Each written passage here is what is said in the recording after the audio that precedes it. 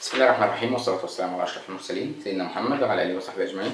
أهلا وسهلا بحضراتكم إن شاء الله النهاردة هنبتدي درس جديد من تمارين المنظور. التمرين اللي قدامنا ده هتلاقوا رابط الملف بتاعه تحت الفيديو لكن معذرة هتلاقوا الصورة بتاعته مش واضحة أوي. أنا يعني الأبعاد حاولت أطلعها كده بأي طريقة لأنها بالتالي مش مظبوطة أوي. هنبدأ دلوقتي رسم المنظور ده. عايزين نبدأ نشوف هنبدأ منين. هنبدأ من النقطة دي نعمل الجزئية دي بعدين نعمل نص البيضاوي ده وننقله تحت بحيث إن إحنا نعمل نص البيضاوي التاني. ونكمل بقية الشكل بعد كده نعمل نص البيضاوي اللي هنا ده وننقله تحت ونعمل الحتة دي بالطول بتاعها. هنطلع لحد فين؟ مش هنطلع لأن إحنا ما نعرفش الخط ده هيخبط لحد فين. بعد كده نرجع لنفس النقطة دي تاني نعمل الجزئية دي ونعمل الجنب ده كله اللي هنا ده. ونكمل ونعمل الجزئية اللي عندي ده بالبيضاوي اللي هنا والأجزاء اللي هنا دي كلها وبعد كده نوصل للشكل. تعال نشوف هنعمل الكلام ده إزاي. أول حاجة زي ما إحنا قلنا هنبدأ من هنا. تمشي بمقدار الجزء ده أهو. هتحدد ال center line بتاعك. هتعمل نص بيضاوي اللي هنا. بعد كده انت طبعا عامل الأجزاء بتاعته انقلها تحت على طول من غير ما تعمل آه، ال- المعين بتاعك اللي إحنا شرحناه قبل كده. طبعا إحنا شرحنا طريقة عمل البيضاوي بالتفصيل قبل كده. أهي. وبعد كده اقفل الشكل. طبعا في هنا center line برضه أهو. بعد كده كمل بقية الشكل أهو. وقف هنا. واعمل بيضاوي جديد. واعمل المعين بتاعك. واعمل البيضاوي اللي هو هنا.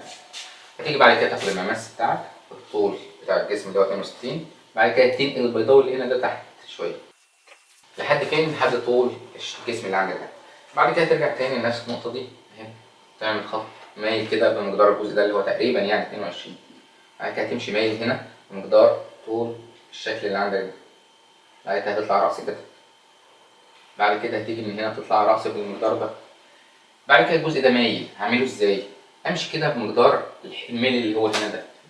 اهو. وبعد كده اطلع رأس بمقدار الارتفاع اللي هو ده. احدد نقطة. النقطة دي اوصلها. خلاص يبقى أنا عملت الميل بتاعي. بعد كده وشرحنا قبل كده برضه تمارين نعمل الخطوط اللي هي مش مايل بزاوية 30 ورأسية. إزاي؟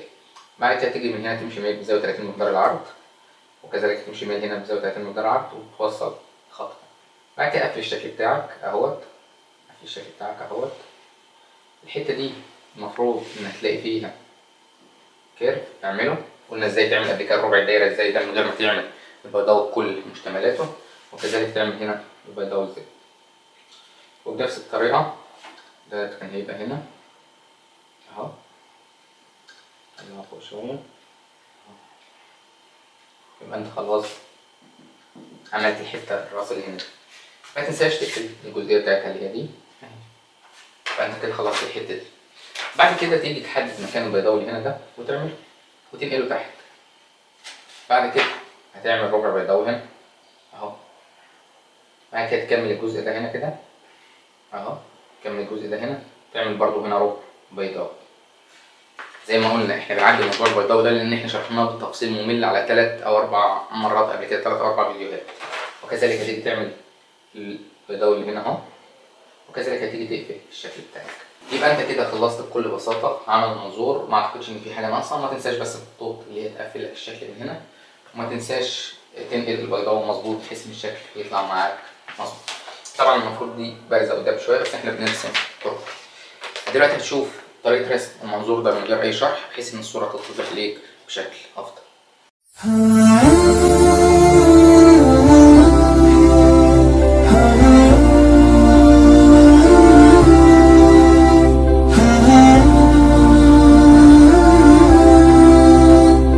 كده